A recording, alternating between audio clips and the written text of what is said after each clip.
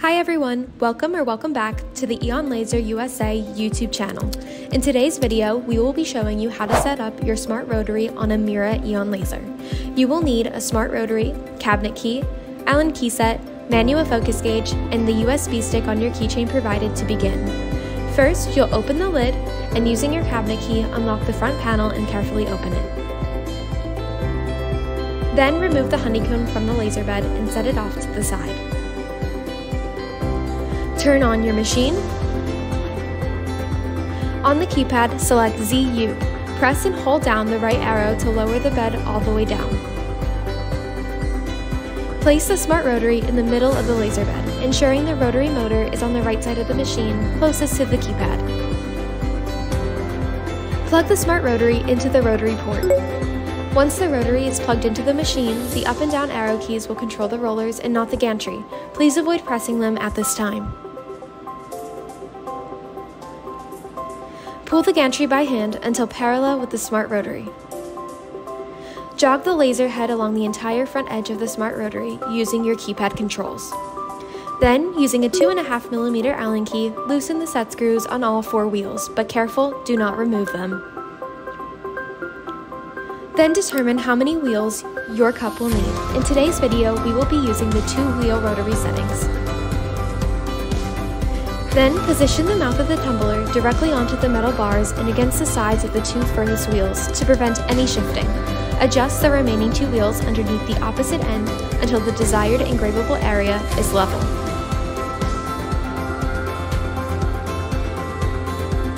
Double check that the engraved workspace is perfectly level and not on any raised portions or logos. Then, using a 2.5mm Allen key, carefully tighten all four wheels about 1 to 2 turns into place. Then, plug in your USB that is attached to your ignition key and open Lightburn to load your rotary settings. In Lightburn, navigate to Edit in the top left toolbar. Scroll down and select Machine Settings. Your machine settings pop-up will appear. Now you'll want to load your rotary files onto your computer. Select Load from File then locate your USB. Select the Settings folder. Select your machine's rotary settings. And for this video, we will select the Mira 7 Smart Rotary 2 wheels. Next, we will write these settings. Controller settings written successfully will appear. Next, you'll read your settings. Scroll down to confirm that Enable Rotary is true. Select OK. Next, you'll import your file into the artboard.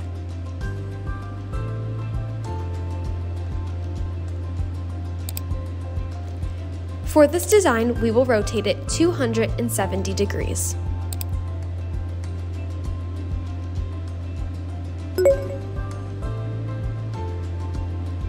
Now we will double check our settings.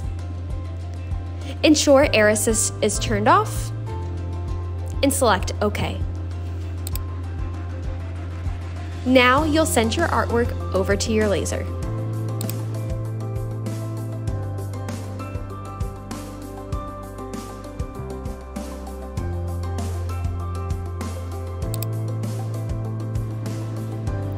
Using your hand, pull the gantry forward until the red dot is in the center of where your artwork will be.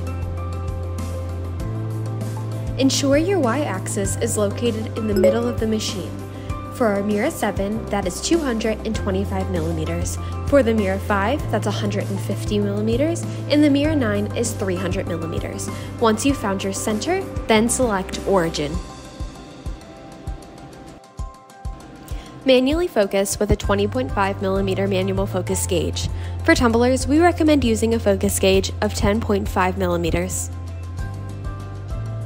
Now it's time to frame your artwork. Load your file to your machine by selecting File, select your art, and hit Enter. Select Frame on your keypad to frame your work. Then press blower switch on the side of the machine. Close your lid and press Start to begin your job.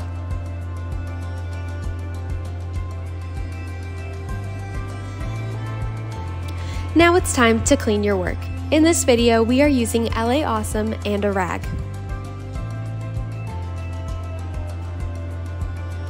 Once you're done engraving, do not turn off your machine or unplug your rotary cord. Head to Lightburn, hit Edit, and select Machine Settings.